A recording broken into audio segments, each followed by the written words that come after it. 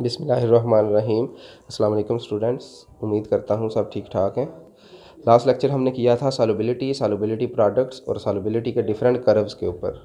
आज का हमारा टॉपिक होगा कोलिगेटिव प्रॉपर्टीज़ ऑफ़ सोल्यूशन। तो फ़र्स्ट ऑफ़ ऑल हमें ये पता होना चाहिए व्हाट आर कोलिगेटिव प्रॉपर्टीज़ तो याद रखना है कि ये किसी भी सॉल्यूशन की वो प्रॉपर्टीज़ होती हैं जो नंबर ऑफ़ सोल्यूट या सालवेंट के मालिक्यूल्स पे डिपेंड करती हैं। यानी आपको पता है सॉल्यूशन के दो कंपोनेंट्स होते हैं। एक होता है सोल्यूट एक होता है सालवेंट तो वो प्रॉपर्टीज़ जो इफ़ेक्ट हों सोल्यूट के मोल्स को सोल्यूट की अमाउंट को बढ़ाने या कम करने से, या सालवेंट के मालिक्यूल्स की तादाद को बढ़ाने से या कम करने से। तो अगर इस, इन चीज़ों की चेंज करने से, अगर कोई प्रॉपर्टीज़ भी चेंज होती है like melting point boiling point freezing point तो ऐसी प्रॉपर्टीज़ को हम बोलते हैं कॉलीगेटिव प्रॉपर्टीज़ इसमें एक बात और याद रखनी है कि कोलिगेटिव प्रॉपर्टीज़ तादाद पे डिपेंड करती हैं नंबर ऑफ़ मालिक्यूल्स पे डिपेंड करती हैं मोल्स पे डिपेंड नहीं करती हैं। ठीक हो गया। मोलैरिटी पे या मोलैलिटी पे डिपेंड नहीं करती। ये जस्ट डिपेंड करती हैं नंबर ऑफ़ मालिक्यूल्स पे। तो ऐसी प्रॉपर्टीज़ को हम बोलते हैं कॉलिगेटिव प्रॉपर्टीज़। तो ये डेफिनेशन है, the colligative properties are the properties of solution that depend upon the number of solute and solvent molecular ion. और कोलिगेटिव प्रॉपर्टीज़ की एग्जाम्पल्स क्या क्या हैं? ये हमारे पास चार एग्जाम्पल्स हैं। Lowering of vapour pressure elevation of boiling point depression of freezing point और ओस्मोटिक प्रेशर तो अब अकॉर्डिंग टू योर सिलेबस हम तीन चीज़ें इस चैप्टर में डिस्कस करेंगे। इसके बाद देखें एप्लीकेशंस क्या हैं कोलिगेटिव प्रॉपर्टीज़ की, कि कोलिगेटिव प्रॉपर्टीज़ में हम किसी भी सब्सटेंस का मैस की डिटर्मिनेशन कर सकते हैं। मोस्टली हम किसी भी कंपाउंड के अननोन मैस को फाइंड कर सकते हैं। अब ये क्वेश्चन अहम है कि why some of the properties are called colligative properties तो मैंने आपको क्या बताया है कि ये वो प्रॉपर्टीज़ होती हैं जो नंबर ऑफ़ मालिक्यूल्स पे डिपेंड करती हैं। यानी या सोल्यूट यानी हम लेट से हम सोल्यूट का ज़िक्र करते हैं। तो अगर नंबर ऑफ़ सोल्यूट पार्टिकल बढ़ेंगे तो ये प्रॉपर्टीज़ के ऊपर इफ़ेक्ट करेंगे। यानी melting point boiling point vapour pressure freezing point ये चेंज हो जाएगा। इसी तरीके से नंबर ऑफ़ मालिक्यूल्स की बात हो रही है। तो यहाँ एक एग्ज़ाम्पल देखें। अगर हमारे पास वन के जी ऑफ़ वाटर हम तीन फ्लास्क लेते हैं, वन, टू और थ्री। इसमें वन के जी वाटर में हम सिक्स ग्राम यूरिया ऐड करते हैं।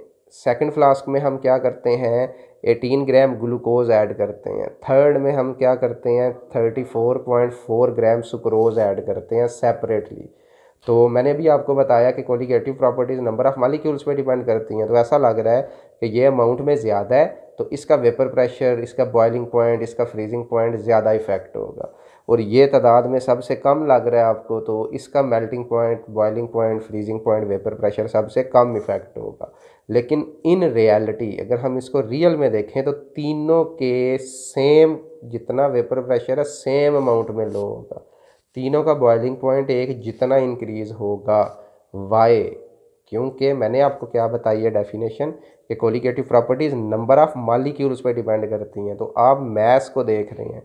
तो जब आप सिक्स ग्राम यूरिया के मोल्स फाइंड करेंगे तो ये zero point zero one mole होंगे। एटीन ग्राम ग्लूकोज बल्कि ज़ीरो पॉइंट ज़ीरो वन नहीं ज़ीरो पॉइंट वन आएगा। चेक करें फार्मूला गिवन में सिक्स ग्राम है मोलर मैस यूरिया का सिक्सटी ग्राम होता है तो सिक्स अवर सिक्सटी होगा zero point one similarly eighteen gram इसका गिवन मैस है वन एट्टी इसका मोलर मैस है तो ये भी ज़ीरो पॉइंट वन सुक्रोज का given mass thirty two point thirty four point two है molar mass three forty two है तो ये भी zero point zero one molar है तो इट मीन तीनों के नंबर ऑफ़ मोल्स सेम है तो मैंने आपको क्या बताया कि colligative property number of molecule पर डिपेंड करती है तो जब मोल सेम होंगे तो तीनों के नंबर ऑफ़ मालिक्यूल भी सेम होंगे दैट इज़ वाई तीनों का वेपर प्रेशर एक कितना लो होगा तीनों का बॉइलिंग पॉइंट एक जितना हाई होगा, इसी तरीके से तीनों का फ्रीजिंग पॉइंट भी एक जितना लो होगा, क्योंकि कोलिगेटिव प्रॉपर्टीज़ किस पे डिपेंड करती है? मालिक्यूल पे। तो हम मैस की वजह से नहीं कहेंगे कि प्रॉपर्टी इफ़ेक्ट होती हैं, बल्कि हम मोल्स और मालिक्यूल्स का कहेंगे। तो अब इस बात को समझें तो क्लियर हो जाएगा। चेक करें। The reason of this property to be called colligative can be explain by considering three solution let us take six gram of urea eighteen gram of glucose thirty four point two gram of sucrose dissolve separate in one K G of water this, they, this will produce 0.1 molar solution of each substance और pure H two कहता है certain value का vapour pressure है। इसमें आपको मैंने बताया था राउट्स ला में कि जो सॉल्वेंट होता है प्योर फॉर्म में उसका वेपर प्रेशर हाई होता है। लेकिन जब उसमें सोल्यूट ऐड होता है तो वो सोल्यूट के साथ अट्रैक्टिव फोर्सेस डेवलप होती हैं और उसका जो वेपर प्रेशर है, वो कम हो जाता है। तो वो यही बताने लगा यहाँ। At given temperature in these solution the vapour pressure will be lowered कहता है, क्योंकि अगर आप पानी में इन तीनों सोल्यूट्स को ऐड करेंगे तो वेपर प्रेशर पहले से लो होगा। Reason is that molecule of solute present upon the surface यानी ये वजह है कि वेपर प्रेशर क्यों कम होगा? डिक्रीज दी वेपोरेटिंग कैपेबिलिटी और अपेरेंटली इट सीम्स दैट कहता है, दिखने में ऐसा लग रहा है sucrose solution show maximum lowering of vapour pressure क्योंकि आपको उसका मैथ ज़्यादा लग रहा है और urea show minimum lowering of vapour pressure ये कहता है, ऐसा लग रहा है। But reality is that lowering a vapor pressure in all these solution will be same at a given temperature why कहता है number of particle of solute in all solutions are equal we have one tenth one tenth कह लिया zero point one कह लिया वो गैड्रो number of particle और that is why जो lowering of pressure होता है वो solute molar mass वगैरह पे या structures पे depend नहीं करता particles पे डिपेंड करता है तो दैट इज़ वाई तीनों का एक जितना लो होगा। यहाँ पर आपने एग्जांपल देखनी है कि इनका बॉइलिंग पॉइंट तीनों का हाई होगा, इतनी इस वैल्यू में फ्रीजिंग जो इनका फ्रीजिंग पॉइंट है, तीनों का लो होगा इस वैल्यूज़ के अकॉर्डिंग ठीक हो गया? और कहते हैं, आप देखें, अगर हमने इसके एलिवेशन और डिप्रेशन ऑफ़ फ्रीजिंग निकालना है तो इसका रीज़न देखें। Reduce the value of elevation of boiling point depression of freezing point of water for one molar solution तो फॉर दिस यानी एक पहले था, हमारे पास zero point one molar solution अब हमने तैयार करना है वन मोलर तो अब पहले हमारे पास सिक्स ग्राम यूरिया था, अब हम उसको सिक्सटी ग्राम करेंगे। हमारे पास वन एटीन था ग्राम ग्लू इसमें ग्लूकोज यहाँ वन एटी लेंगे और थ्री फोर्टी टू सुक्रोज लेंगे इनको वन के में करेंगे। और देन कहता है कि तीनों का फ्रीजिंग और बॉयलिंग सेम क्वांटिटी में एलिवेट होगा। ठीक हो गया। Next cheese conditions for following colligative properties यानी ये तीन कंडीशंस अगर फॉलो होंगी तो कोलिगेटिव प्रॉपर्टी ओबे होंगी, नहीं तो नहीं होंगी। सोल्यूशन शुड बी डाइल्यूट ये सबसे अहम बात है कि डाइल्यूट सोल्यूशन कोलिगेटिव प्रॉपर्टीज़ को फॉलो करते हैं। नॉन वोलाटाइल होना चाहिए। नॉन वोलाटाइल का मतलब है, जो भी आपने सोल्यूट लेना है, उसका मेल्टिंग पॉइंट और बॉइलिंग पॉइंट हाई होना चाहिए।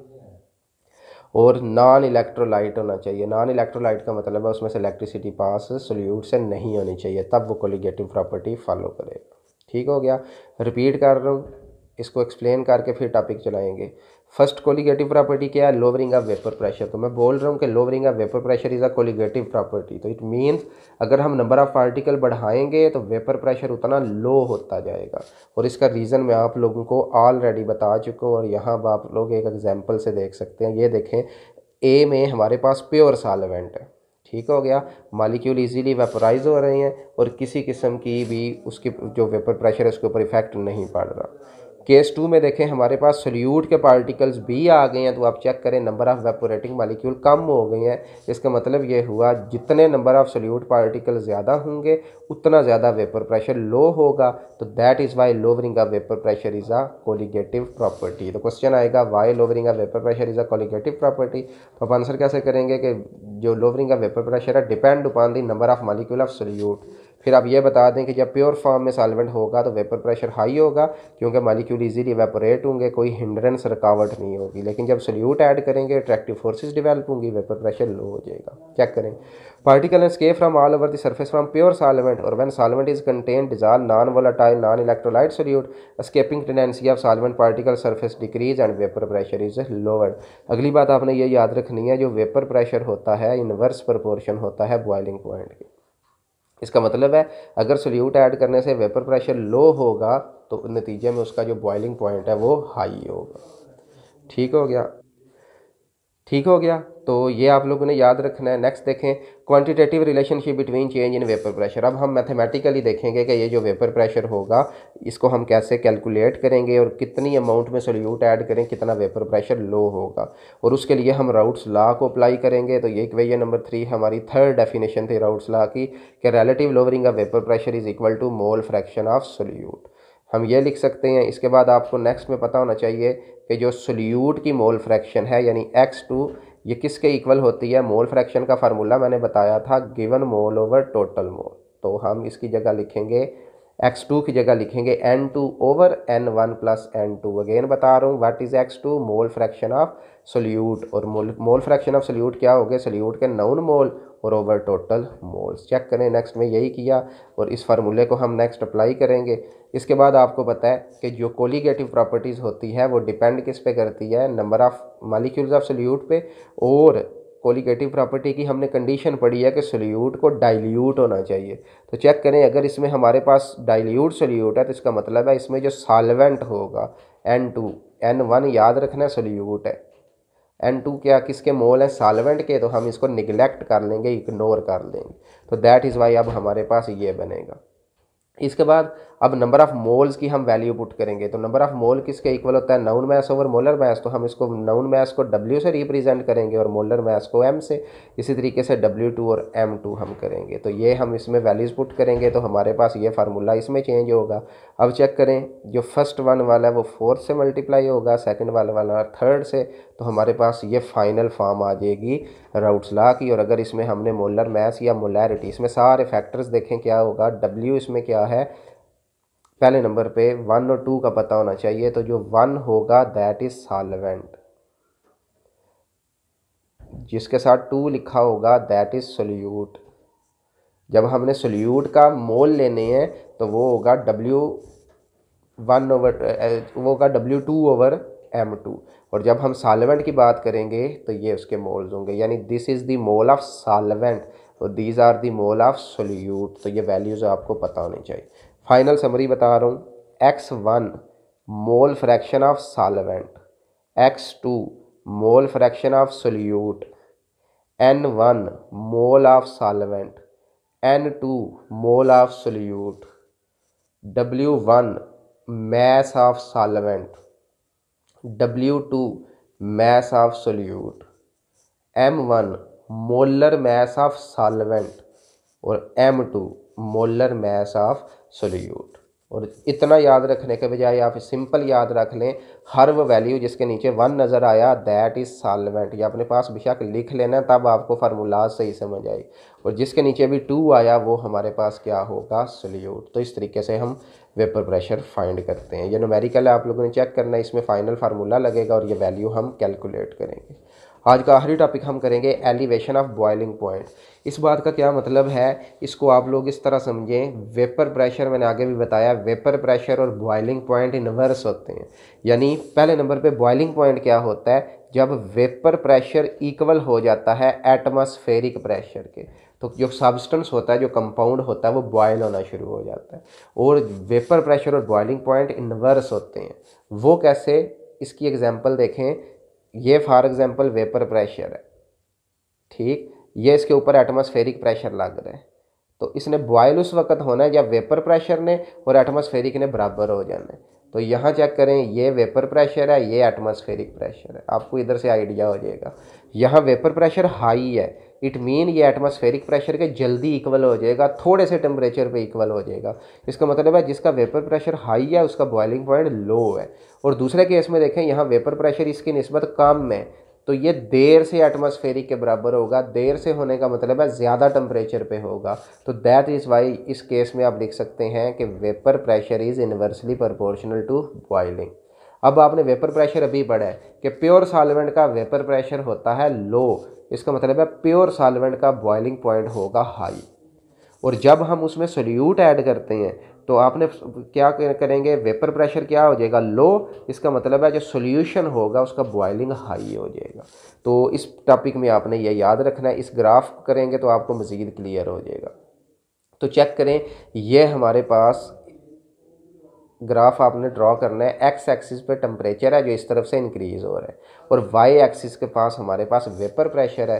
तो ये देखें ए और बी ए से लेके बी तक हमारे पास वेपर प्रेशर होगा प्योर सॉल्वेंट का और ये इस कर्व इससे ऊपर इसलिए है कि प्योर सॉल्वेंट का वेपर प्रेशर हाई होगा और ये जिस टेम्परेचर पे बॉयल होगा this is temperature T one और देखें इसी सॉल्वेंट में जब हम सोल्यूट ऐड कर देंगे तो वेपर प्रेशर पहले से लो होगा।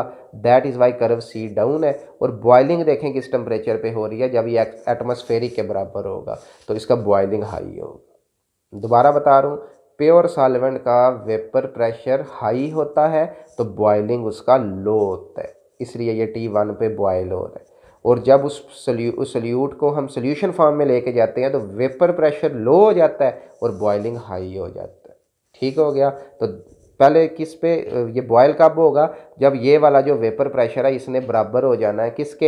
एटमॉस्फेरिक प्रेशर के। तो इस पूरे पैराग्राफ में आपने ये बताना है। तो फ़र्स्ट ऑफ़ ऑल आप क्या बताएँगे? एक्स एक्सिस पे टेम्परेचर लेंगे वाई एक्सिस पे वेपर प्रेशर लेंगे पी नाट होगा एक्सटर्नल प्रेशर जैसे ही वेपर प्रेशर एक्सटर्नल के इक्वल हो जाना है तो उसने बॉयल हो जाना है। अब पहले प्योर सॉल्वेंट का बताएँगे कि इसका वेपर प्रेशर हाई होता है। क्यों हाई होता है? क्योंकि वेपराइज होने में किसी किस्म की कोई हिंड्रेंस का मालिक्यूल को सामना नहीं करना पड़ता। तो दैट इज़ वाई इसका वेपर प्रेशर तो हाई है, लेकिन बॉयल यहाँ लो टेम्परेचर पर होगा दैट इज़ टी ठीक? अब हम क्या करते हैं, इसी प्योर सॉल्वेंट में सोल्यूट ऐड करते हैं तो वेपर प्रेशर लो होगा दैट इज़ वाई कर्व नीचे आएगा। लेकिन वेपर जब लो होगा तो बॉयलिंग पहले से हाई हो जाएगा। तो दिस इज़ टी टू तो T two minus T one करेंगे तो हमारे पास बॉइलिंग पॉइंट आ जाएगा। तो ये सारा कुछ इस पैराग्राफ में लिखा हुआ है, इसको आपने अच्छे तरीके से करना है? और फाइनल फॉर्म आपने ये बतानी है कि जब ये टी वन है, ये टी टू है तो हम इसमें डेल्टा टी फाइंड कर लेंगे। वो किसके इक्वल होगा? T one minus T two के तो दैट इज़ बॉइलिंग पॉइंट और ये किसके इक्वल होगा? Delta T is equal to K और एम इसमें के बी होगा बुलियोस्कोपिक कांस्टेंट या बॉइलिंग पॉइंट कांस्टेंट और एम होगी मोलैलिटी ऑफ़ सॉल्यूशन इसमें भी एक बात याद रखनी है एम होती है molarity M is equal to molarity और मोलैरिटी का डेफिनेशन आपने पढ़ी होगी number of moles of solute dissolve in one decimetre cube of solution और स्मॉल एम होती है मोलैलिटी और मोलैलिटी किसे कहते हैं? Number of mole of solute dissolve in one K G of solvent यानी आप इसको ऐसे समझें, अगर total volume just one litre तक है वन डेसीमीटर तक है, इसी में सोल्यूट है, इसी में सोल्यूशन है तो दिस इज़ मोलैरिटी कैपिटल है हम मोलैलिटी का ज़िक्र कर रहे हैं मोलैलिटी में वन के जी पूरा, यानी थाउज़ेंड ग्राम जस्ट सॉल्वेंट होता है, और बाद में उसमें ऐड होता है सोल्यूट तो ये इसके इक्वल है। इसके बाद हम इस फार्मूले में मोलैलिटी का, ये मोलैलिटी का आपके पास फार्मूला होगा, हम ये पुट करेंगे मास ऑफ़ सल्यूट मैंने आपको पहले भी बताया, हम इसको डब्ल्यू टू से रिप्रेजेंट करेंगे। मोलर मैस ऑफ़ सल्यूट इसको हम एम टू से रिप्रेजेंट करेंगे। और सालवेंट को मैस ऑफ़ सालवेंट को डब्ल्यू वन से रिप्रेजेंट करेंगे। तो ये हमारे पास फार्मूला बन जाएगा। तो final formula elevation of boiling point का ये होगा और उसमें जब मोलैलिटी की वैल्यू पुट करेंगे तो हमारे पास फुल एंड फाइनल फार्मूला ये मोलैलिटी का फार्मूला बना और जब हम उसको पुट करेंगे तो ये डेल्ट के भी इसके इक्वल होगा। तो फॉर दिस फार्मूला हम चेक कर सकते हैं कि बॉइलिंग पॉइंट सोल्यूट की अमाउंट बढ़ाने से कितनी अमाउंट में बढ़ सकता है। ठीक हो गया। नेक्स्ट टॉपिक बन रहा है मेज़रमेंट ऑफ़ बॉइलिंग पॉइंट तो ये इंशाल्लाह हम नेक्स्ट लेक्चर में करेंगे। तो तब तक के लिए अल्लाह हाफिज़। Thank you very much